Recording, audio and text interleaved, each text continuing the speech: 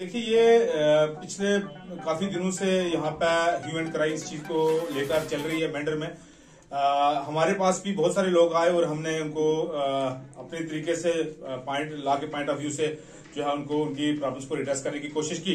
लेकिन in general public के लिए हम ये आपको बता दें आपका सबसे पहले यहाँ पे शुक्रिया आने का। ये जो आया की जो रिक्रूटमेंट हो रही है डिफरेंट स्कूल्स में और ये गवर्नमेंट एजुकेशन डिपार्टमेंट को uh, इसकी रिक्रूटमेंट कर रहा है। देखिए पिछले कुछ दिनों से लगातार इसमें एम्बेजलमेंट की स्मेल आ रही है।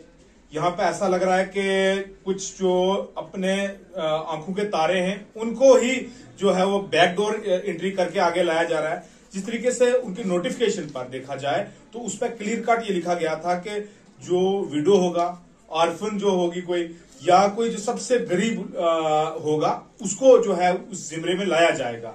लेकिन यहाँ पे इस किस्म का कोई भी नहीं है। और दूसरा, आज इलेक्ट्रॉनिक का मीडिया है प्रिंट मीडिया का दौर है, और सोशल मीडिया का दौर है। तो जहाँ पे एजुकेशन डिपार्टमेंट को एक वाइड पब्लिसिटी करनी चाहिए थी इसकी, उसको करने में वो नाकाम हुए हैं, पूरी तरीके से फेल हुए हैं उन्होंने किसी भी प्रिंट मीडिया इलेक्ट्रॉनिक मीडिया या सोशल मीडिया का सहारा नहीं लिया है। उसके अलावा भी उनके पास बहुत सारे साधन थे। वो सरपंचीज को इन्फॉर्म कर सकते थे, वो पेंचीज को इन्फॉर्म कर सकते थे, वो लंबरदार नंबरदार को इन्फॉर्म कर सकते थे। जहाँ पे वो पूरी तरीके से फेल हुए हैं, उनने सिलेक्टेड लोगों को बुलाया, उनके फॉर्म लिए और उनको अपॉइंटमेंट हाथ में दे दी। ये कहीं ना कहीं उनकी जो क्रेडिबिलिटी है, उस पर एक्स वाली निशान खड़ा करता है और हम इसकी कड़े अल्फाज में निंदा करते हैं। हम ये एलजी इंतजामिया से अपील करते हैं सेक्रेटरी एजुकेशन डिपार्टमेंट से अपील करते हैं चीफ एजुकेशन ऑफिसर से अपील करते हैं डिप्टी सीओ मैंडर से अपील करते हैं, और कंसर्न जेडीओ से मैंडर मनकोट बालाकोट और जितने भी जून आते हैं, हम ये कहना चाहते हैं यहाँ से। वकला हजरात यहाँ पे कहते हैं, जब भी कोई पीड़ित होता है, कोई दुखित होता है, वो हमारे पास आता है। तो हम ये आपके चैनल के माध्यम से ये कहना चाहते हैं कि इस पे दोबारा से रीथिंक किया जाए।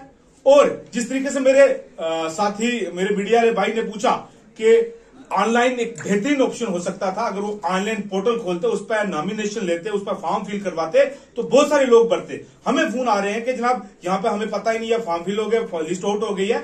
मैं कह, कह, कहना चाहता हूँ आपके मीडिया के चैनल्स के मुता के को के मुसादत से कि इनकी दोबारा से री इन्वेस्टिगेशन करके दोबारा से जो री एडवर्टाइजमेंट करके दोबारा से फॉर्म निकाले जाए और वाइड सर्कुलेशन करके पब्लिक की डोमेन में लाया जाए और ये बताया जाए कि कौन कौन लोग इसके अहल हैं किस किस लोग को यहाँ पर लगाना है। और इनको एड्रेस भी हमने किया है। ये अगर देखिए, अगर एक वीडियो है और उसको वार्ड वो बनती है या किसी ने जगह डोनेट की है कुछ भी है उसो उसको उसी वार्ड में ही लगाना चाहिए था। लेकिन हमने देखा है कि तीसरी, चौथी या पांचवी वार्ड को या कहीं वो उस क्राइटेरिया को को रांध कर जो है, बाहर से लोगों को लाकर वो वहाँ पर फुलफिल किया गया। ये भी एक सरासर जो है, नाइंसाफी है। इसके ऊपर भी एक इन्वेस्टिगेशन होनी चाहिए।